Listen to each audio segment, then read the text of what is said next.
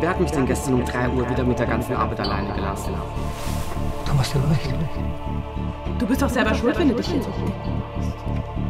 Brigitte, Chef, Büro, immer dieselbe Leier. Ihr Liebesleben interessiert mich nicht.